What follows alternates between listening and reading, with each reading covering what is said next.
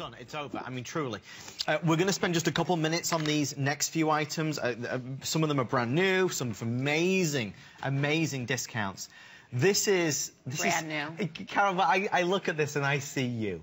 Well, have you, have you done feathers before? Uh, my feathers are, seriously, my girls, my rarities girls, write to me and ask me every day for more feathers. I've done them in blue diamonds, long ones, white diamonds, champagne diamonds. It's just you. Black it's so spinel. you. I'm the feather girl because it's so organic. That beautiful design. It sways and moves and dances in your ear. I only do feather earrings, by the way. I think I did one feather ring.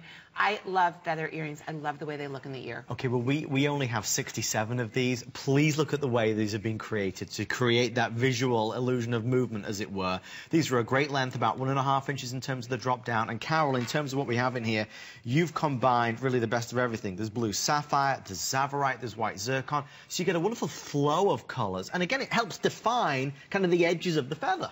It absolutely does. So think of that most beautiful peacock feather. Think of the peacock. Think of how she like spreads those gorgeous feathers mm. out and like they're blue and they're green and they're white and she's really showing off her beauty. That's what the earring is about. The earring is about showing off your beauty because it's going to curve around your face and then the tips. The tips are done in a black rhodium, tsavorite, and natural sapphire.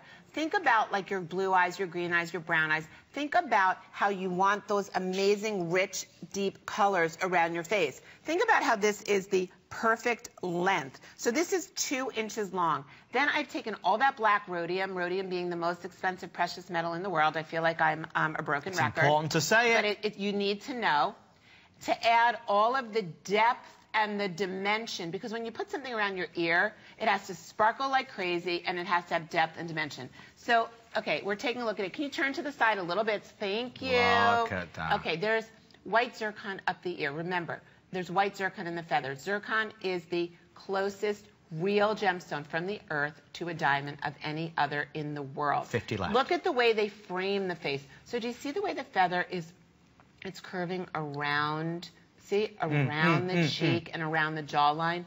What this is doing is it's bringing the attention to the earring and it's adding a more feminine line and structure around the frame of the face. Then the black rhodium accenting on there is making it very dramatic.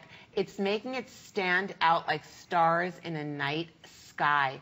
Uh, it's so free and artistic. It literally looks like each one of those gemstones was painted onto the earring instead of laboriously cut and polished and prong set.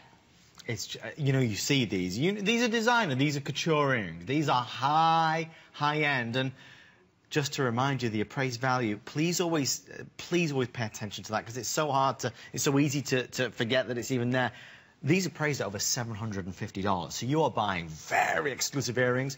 I have about 25 or 30 pairs left with everyone on the phone right now. look at them now. against white, by the way, or against black leather. I just you want love you to this see. white lace. I'm really into it. Look how chic that is. You're wearing black at night. You're wearing black during the day. They're super lightweight, and they're lever back. They're chic. This is just a really chic earring.